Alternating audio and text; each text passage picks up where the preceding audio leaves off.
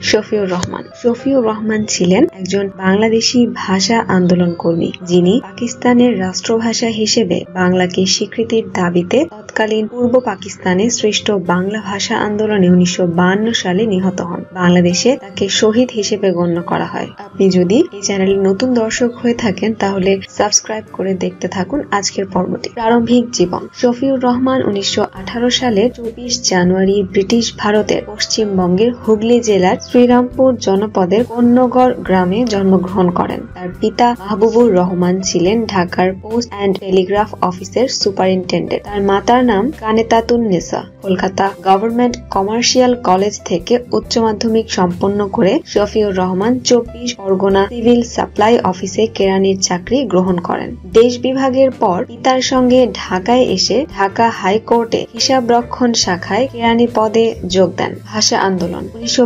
সালের বাইশে ফেব্রুয়ারি সকাল দশটার দিকে ঢাকার রঘুনাথ দাস লেনের বাসা থেকে সাইকেলে করে অফিসের উদ্দেশ্যে রওনা হন শফিউর। সকাল সাড়ে দশটার দিকে নওয়াপুর রোডে বাংলা ভাষাকে রাষ্ট্রভাষা করার দাবিতে পূর্বদিনের পুলিশের গুলি বর্ষণের প্রতিবাদে ছাত্র জনতার বিক্ষোভ মিছিলে পুলিশ পুনরায় গুলি বর্ষণ করে। পুলিশের গুলি শফিউর রহমানের পিঠে এসে লাগে। উনিশশো চুয়ান্ন সালে শহীদ সংখ্যা সাপ্তাহিক দৈনিকে তার সম্পর্কে প্রকাশিত বিবরণ থেকে জানা যায়, ওই দিন সকাল দশটায় তিনি সাইকেলে চড়ে নবাবপুর রোড হয়ে অফিসে যাচ্ছিলেন। হঠাৎ একটি রাইফেলের গুলি তার পৃষ্ঠ ভেদ করে বের হয়েছে এবং এতে তিনি তাৎক্ষণিকভাবে মাটিতে লুটিয়ে পড়েন। সরকারি অ্যাম্বুলেন্স যোগে তাকে হাসপাতালে নেওয়া হয়। ঢাকা মেডিকেল কলেজ হাসপাতালে তাকে ডাক্তার অ্যালিনসন অপারেশন করেন। ওই দিন সন্ধ্যা সাড়ে ছয়টার সময় তিনি মারা যান। গুলিতে শহীদ শফিউরের কলিজা ছেড়ে গিয়েছিল। অপারেশনের সময় শফিউরের মাতা, পিতা, স্ত্রী মেয়ে শাহনাজ হাসপাতালে উপস্থিত ছিলেন। মৃত্যু। মৃত্যুর পর পুলিশ আত্মীয়দের কাছে লাশ হস্তান্তর করেনি। চোদ্দই মার্চ উনিশশো